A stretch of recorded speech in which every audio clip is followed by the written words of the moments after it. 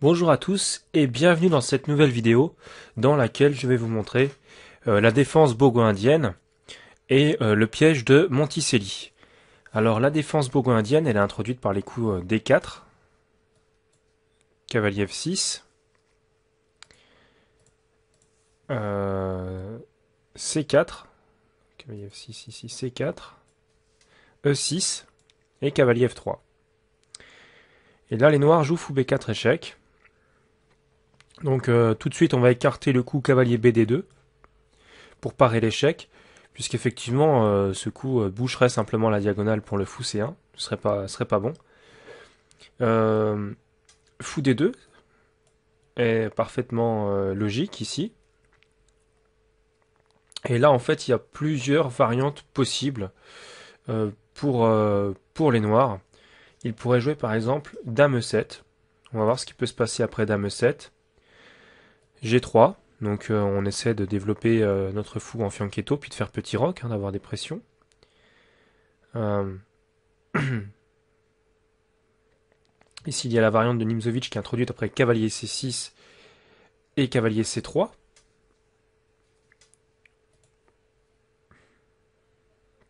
Donc à part cavalier C3, il y aurait fou G2 qui serait possible également. On va voir par exemple après fou G2 euh, ce qui pourrait se passer. Fou prend D2 et cette fois-ci il faut prendre du cavalier. D6 par exemple. Petit roc. A5 hein, pour venir euh, prendre de l'espace sur l'aile dame. E4 pour prendre de l'espace au centre. Hein. Attaque sur l'aile dame, euh, attaque au centre pour les blancs. E5, D5, cavalier D8. Le cavalier B8, pardon. Cavalier B8. Cavalier D8, c'est dans la variante où les pions ne sont pas poussés. Et en fait, on voit que le cavalier vient en B8. Pourquoi? Parce qu'on a euh, ici deux superbes euh, avant-postes, notamment un en C5. Et on voit qu'il ne pourra pas être facilement euh, chassé puisqu'il y a le pion en A5 et donc qui fait pression sur la case B4. Hein. Que B4 ne peut pas être joué tout de suite puisque le pion prendrait. Donc un, bel avant-poste sur ces deux cases, B4 et C5. Donc c'est pour ça qu'il va en B8 pour revenir en A6 ce qui est très euh, ce qui est très souvent joué. C'était un thème notamment qui était souvent joué par Fischer. Donc là par exemple le cavalier E1 est possible. Hein. Petit roc. Cavalier D3. Donc pour empêcher le cavalier noir d'avoir ces deux cases. Et cavalier A6 c'est une position euh, extrêmement équilibrée, hein. très très très égale, très partagée ici, avec beaucoup de possibilités des deux côtés. Donc euh, voilà, ça c'est une position qui tient parfaitement. Et maintenant, si à la place de euh, fou G2, on avait joué cavalier C3, il y aurait pu y avoir par exemple fou prend, fou prend et cavalier E4. Avec l'idée donc de prendre le centre évidemment, puis de pouvoir jouer peut-être D5 à terme. Tour C1, petit roc, fou G2, D6, et là sur D5, puisque si les joueurs jouent D5, ils sont, ils sont bien, c'est vrai. Euh, sur des 5. Euh, cavalier E8, cavalier D8 pardon cette fois-ci pour venir prendre un E6. Euh, donc D prend E6, effectivement après la prise on serait pas serait pas super bien, donc D prend. Et cavalier prend avec encore une fois une position vraiment très équilibrée ici. On voit qu'il y a une, case, une belle case en C5 par exemple. Il y a un jeu actif au centre, bref, c'est vraiment une position équilibrée. Euh, la paire de fous est blanche, mais euh, le cavalier pourra s'échanger facilement sur le fou en C3. Donc euh, voilà, ça, tient parfaitement. donc là, après, après 4 fous D2, il y a d'autres variantes qui sont possibles. Bronstein avait essayé de jouer à 5, mais pour gagner de l'espace sur l'aile dame, évidemment, hein, comme dans la variante qu'on a pu voir avec A5 mais c'est joué un peu trop tôt et après l'échange, peut-être que les pions doublés, la mauvaise structure, bon, c'est pas, ça semble pas extraordinaire. Il faudra quand même faire attention à des coups comme B3. Euh, donc euh, A5, pas, pas terrible. Après fou D2, il y a C5 hein, qui, est, jouable, hein, qui est régulièrement joué. Euh, on peut même venir remettre le fou tout simplement en E7, hein, puisque on perd un temps, mais le fou en D2 n'est pas bien positionné. Donc euh, par conséquent, c'est pas c'est pas dramatique d'avoir perdu ce temps. Euh, ça, se compense parfaitement euh, par la solidité de la position, hein, qui est bon dans une variante un peu passive, certes, mais mais très solide. Donc voilà pour les différents coups possibles d'ouverture sur cette fameuse bogo indienne. Et là, on va voir le piège de Monticelli tout de suite, que je vais vous montrer. Euh, avant ça, je vais quand même vous dire qu'effectivement, en quatrième coup, fou prend des deux est totalement impossible. Et là, on peut parfaitement jouer, par exemple, cavalier prend. Euh, cette fois-ci, on peut jouer cavalier prend puisque le cavalier ne bouge plus la diagonale du fou. Donc maintenant, on passe tout de suite au piège de Monticelli. Alors vous allez voir, il est plutôt pas mal. Donc c'est une partie qui s'est jouée entre Capablanca et Max E. Donc euh, ce que je vais faire, c'est que je vais simplement vous montrer cette partie.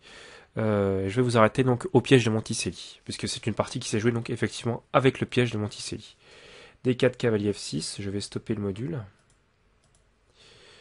Voilà, cavalier F6, C4, E6.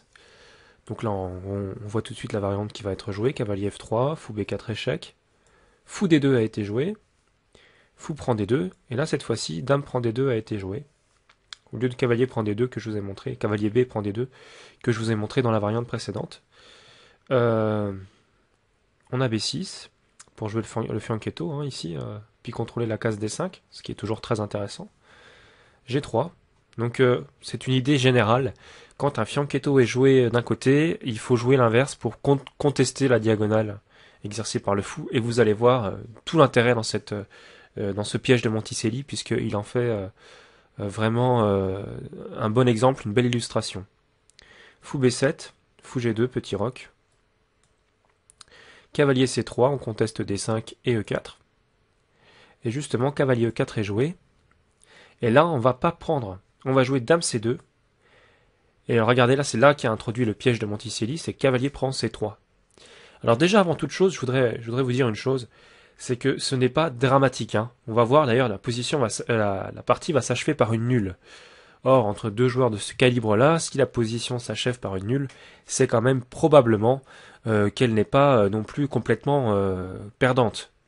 Simplement, c'est vrai que là, il y a une idée tactique qui fait, qui est, qui introduit pas mal de, complications et il faut quand même être précis avec les pièces noires. Donc euh, là, en fait, on va pas reprendre le cavalier en C3, on va menacer mat directement sur H7 et menacer effectivement la prise euh, du fou B7 et vous allez voir plus tard de la tour A8. Par l'intermédiaire du coup cavalier G5. Donc ça, c'est le piège de Monticelli. Là, on est en plein dedans.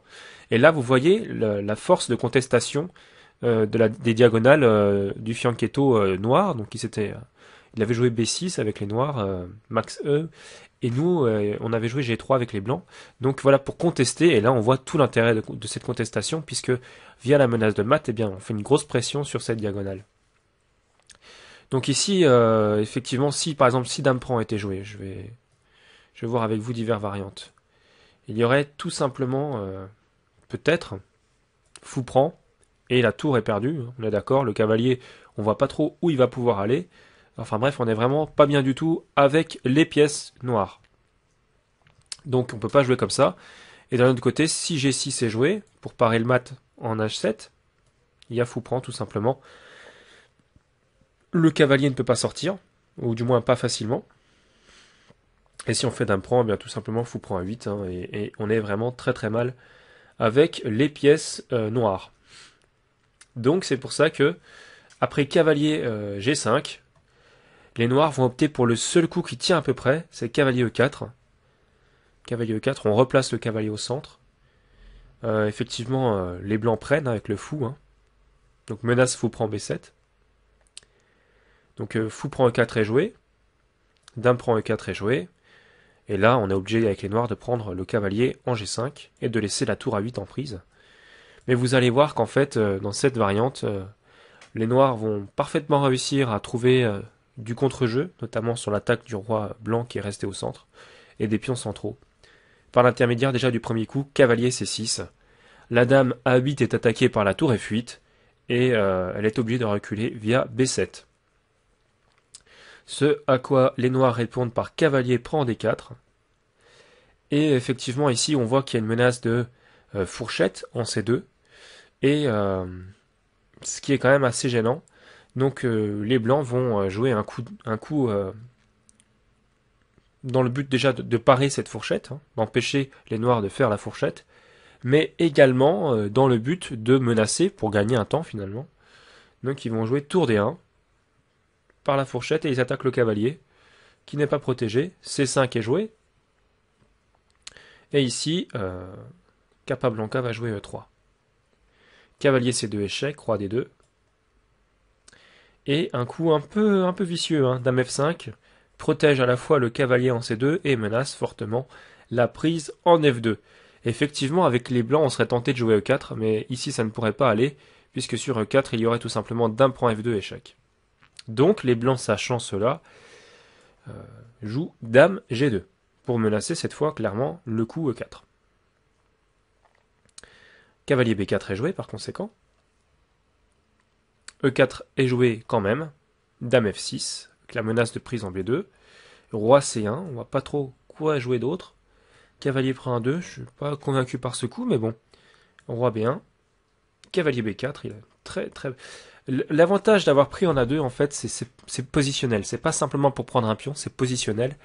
C'est que maintenant, le pion A ne pourra plus aller en A3 attaquer le cavalier. Par conséquent, le cavalier bénéficie bel et bien d'un avant-poste définitif ici en euh, B4. Tour prend D7 est joué. Il faut récupérer quand même euh, un petit peu... Euh, je veux dire, on a, beaucoup donné.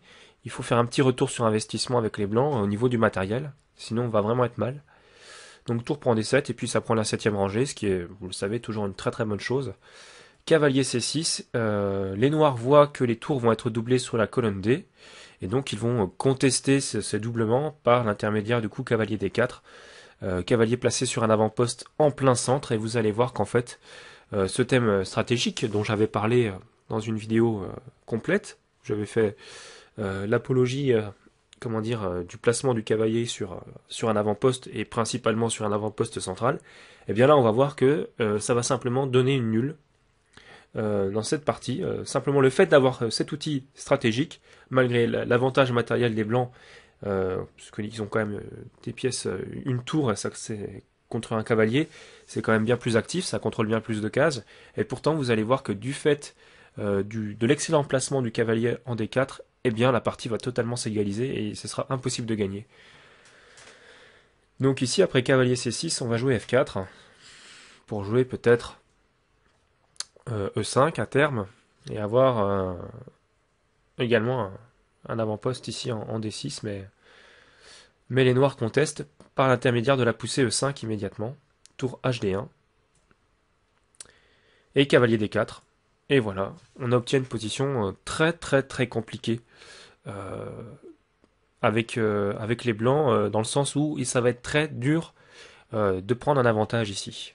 Donc tour prend A7, Comment déloger ce cavalier À part sacrifier la qualité, il n'y a pas de possibilité. Or, on a du matériel de retard. Et les noirs vont s'assurer que, les blancs aient toujours du matériel de retard. Hein. Ça, va être l'idée, vous allez voir, euh, pour empêcher justement un sacrifice de qualité qui pourrait permettre aux blancs de se libérer de cette position écrasante du cavalier noir en D4. Donc prise, prise, dame prend, voilà. Les noirs euh, récupèrent un pion de plus. Hmm, malgré la qualité en moins évidemment, mais la qualité en moins, je veux dire, elle est gommée par le fait que le cavalier bénéficie d'une case extraordinaire. Tour 1, il faut protéger euh, un peu plus euh, ce pion. Et puis, euh, dans cette position, tout simplement, on va voir que ça va être compliqué pour les blancs de s'en sortir. En fait, ça va pas être possible, on va, on va faire nul.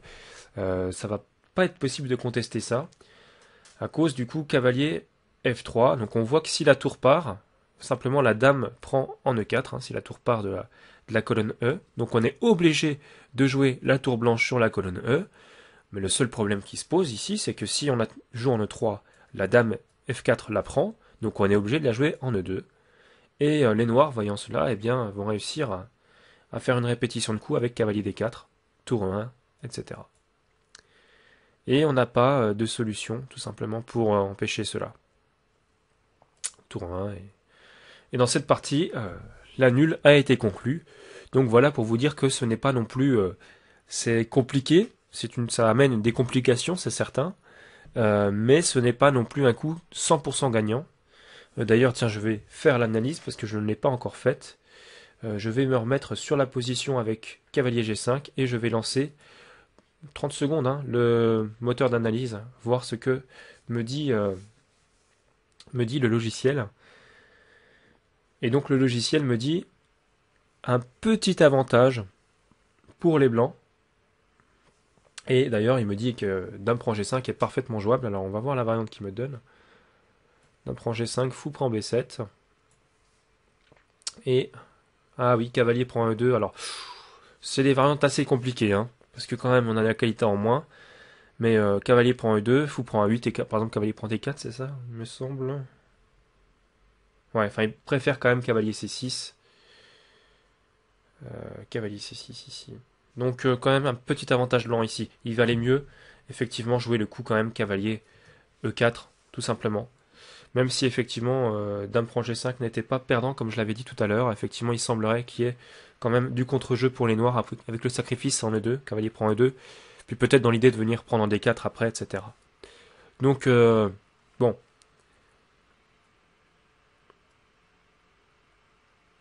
Mais quoi qu'il en soit, c'est vrai que la position reste malgré tout équilibrée, une profondeur de 22,47 et la position reste vraiment équilibrée après cavalier E4 qui a le meilleur coup. Euh, on a 0,42, donc l'équivalent même pas de la moitié d'un pion d'avance pour les blancs.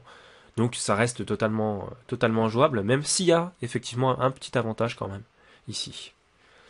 Donc voilà pour cette vidéo, j'espère que euh, ce piège de Monticelli et euh, cette défense vous a plu. Cette défense bogo-indienne. Eh bien écoutez, je vous souhaite de rapides progrès et je vous dis à très très bientôt pour de nouvelles vidéos.